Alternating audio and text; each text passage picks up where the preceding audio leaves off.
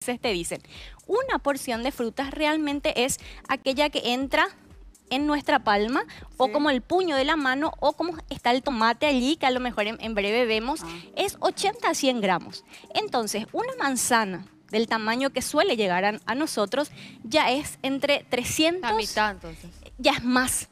Entonces ahí tenemos, si es esa manzana, tiene 300 gramos. Quiere decir que en una manzana ya están las tres porciones que deberíamos de ah, hacer. Entonces al conocer esto, es como menos complejo porque entendemos, ah, entendí. O si no, es una banana, que las nuestras son grandes, la mitad. Con una ciruela, por ejemplo, ahí ya tenés más de tres. Y otra vez, un punto interesante. Es o sea, si yo voy a tomar una decisión, tengo que hacer en base a conocimiento. La banana, que a veces es castigada, tiene como el, engorda, ¿verdad? Ah, la banana tiene carbohidratos complejos, es decir, es energía de absorción lenta, por lo cual me da más saciedad y me dura más tiempo.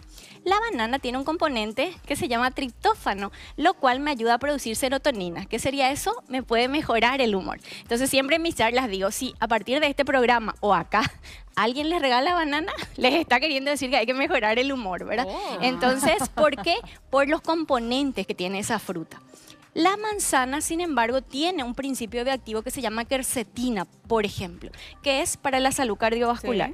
Pero las fibras que me da en la cáscara y adentro hace también que pueda disminuir el colesterol malo. Si yo como a las 10 una manzana, tipo a las 11 ya voy a tener eso que le solemos decir, un jefe, ¿verdad? Entonces es importante también saber qué frutas elijo en, qué, momento, del día. Bueno, licenciada, me gustaría también, ya que tenemos esto, aprovechar, ¿verdad? Y decime, yo me levanto un lunes sí. y para todo el día, ¿qué puedo consumir? O sea, ¿cómo puede empezar mi desayuno seguido de mi snack, continuando ya con mi almuerzo? ¿Cuáles son los alimentos que puedo proporcionar a mi dieta y que sea rendidor para mí? Ok, muy importante antes de que tomemos una decisión es entender el objetivo que tengo de salud. Entonces, si mi objetivo es aumentar peso, a expensas de masa muscular o mi objetivo es eh, disminuir, porque aunque no crean, aumentar peso es más complicado para las personas que no lo pueden hacer. Mm. Eh, y, o si mi objetivo es disminuir, entonces mi plan de alimentación tiene que contemplar alimentos que me ayuden a llegar a ese objetivo claro, es importante acercarse a una profesional que me va a guiar y me va a hacer así exacto lo que yo necesito en base a mi individualidad bioquímica. sí. alimento. Entonces, lo primero que hay que entender es que no me puede faltar ni variedad. Tengo que tener variedad, es decir, todos los grupos de alimentos que tenemos acá. El desayuno, si yo lo puedo hacer en la casa, sería bueno que sea algo saciante. Por ejemplo, debería de tener la proteína de la mejor calidad y ahí optamos normalmente por un huevo.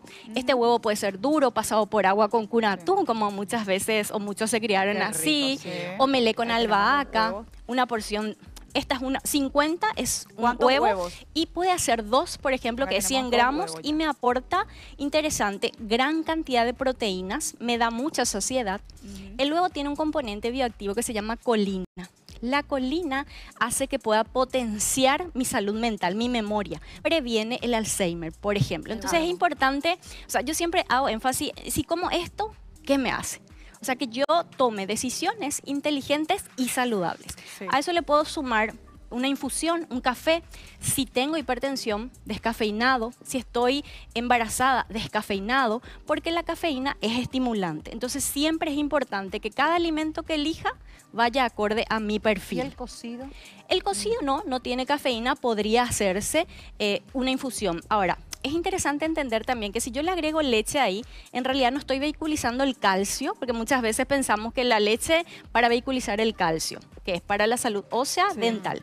Esa leche se ve de alguna manera ya interceptada por esa infusión, llámese café, llámese cocido. Entonces por eso que no está malo tampoco el café solo.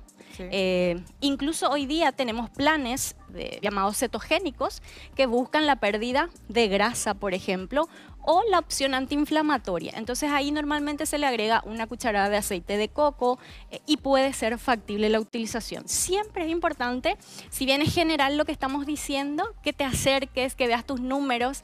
De hecho que yo dejé a la producción un QR que a lo mejor se puede pasar para que entiendas tu índice de masa corporal, cómo está, ¿verdad? Eh, que es el peso dividido la talla.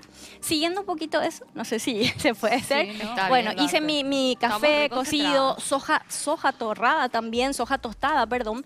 Es riquísima y me aporta también proteínas. El panque, panqueque, Lice, con la avena. Panqueque también lo puede- huevo, avena, de sí. nueces. De hecho, que un desayuno que recomendamos mucho para la gente que de repente no puede hacer una ingesta hasta el mediodía sería un purecito de aguacate, grasas saludables que el cuerpo no produce, encima de tu tostada, un pan de semillas, lo que tengas. También es importante eso, eh, que para empezar no busquemos las cosas que no son accesibles, porque si no, no es sostenible. Cierto. Entonces haces tu pan, tostadito si querés, más rico, aguacate un poquitito, huevo encima, tu café, salís. ¿sí? Eh, y ahí, en tu media mañana, lo ideal sería no olvidarse del vaso de agua que me hidrata. Eh, si me duele mucho la cabeza, probablemente estoy deshidratado. Mirar cuando voy al baño y hago pipí. Si estás muy oscuro, usa el pipímetro que le llamamos nosotros, estás deshidratado. Me encanta ella. Entonces, hidratarse. Y claro, ahí elegir la fruta. Dijimos hace rato ya las propiedades de la banana, que para qué la era. manzana. ¿Qué, no- qué nos hacía la banana? Ay. No, cambiaba el humor. Eso, muy humor. bien. La manzana que me ayuda a la salud cardiovascular y está Nutri, la pero piña. la banana podemos comer todos los días. Podés, o sea, de hecho que no hay un alimento, siempre es importante la porción. No vas a comer a lo mejor como hacemos muchas veces el balde de mango, mandarina, pero una banana está bien.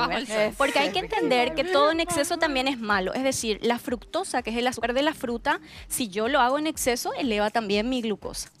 La piña, elijamos para media mañana. La piña tiene algo que eh, se llama bromelina. Lo que hace es evitar el dolor de las articulaciones. Si estás en un post chikungunya, la piña no te puede faltar. Es diurética, entonces es ideal. Pero esa es la porción, la que vemos allí. A ver. Sí, 100 es gramos. porción. Esa. Tiene como Esta tiene 100 rodajitas. gramos, exacto. Acordate que eran tres porciones, entonces ahí le puedes sumar una manzana chica eh, o una manzana mediana. Entonces, con el conocimiento es que podemos empoderarnos de nuestra salud. Licenciada, el tomate. Sí.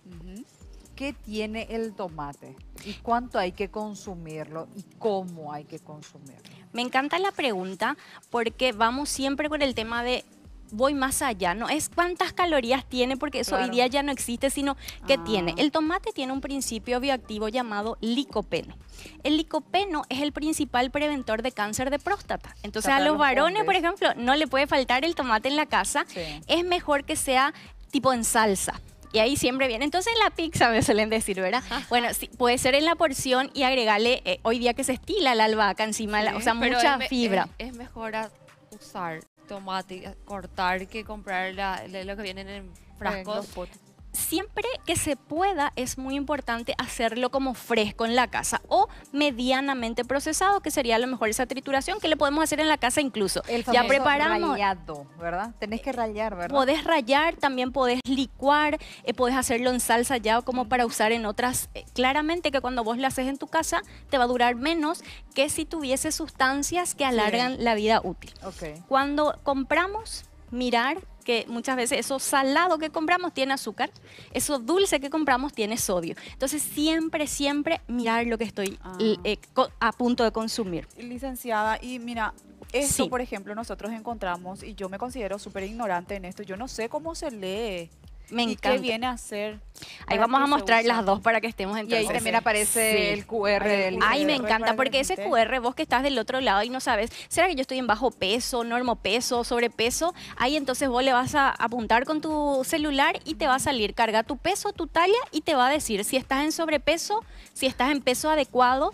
Y entonces a partir de ahí armamos un plan. Esto lo tenemos en forma gratuita para descargarlo también desde la página del INAM, Sí. el Instituto Nacional de Alimentación y Nutrición. Entonces, es de una manera más práctica. Dice el grupo de alimento, o por ahí acá que es más fácil, el grupo de alimento de leche, por ejemplo, 1200 calorías serían para una dieta de 1200 calorías, dos porciones de lácteos, dos de verduras, y fíjense, según grupo de alimento. Entonces, ¿Dos vasos sería eso? dos vasos. Ah. ¿Cuál es una porción de lácteos? 200 ml de leche, 200 ml de yogur o 30 gramos de queso. Sí. La diferencia en estos lácteos es la lactosa. Sí. Este es el tamaño de vaso Ese que es se el vaso de para- 200 ml. Así. Entonces, si hablamos de... do- Ah, sí. Dos sería 400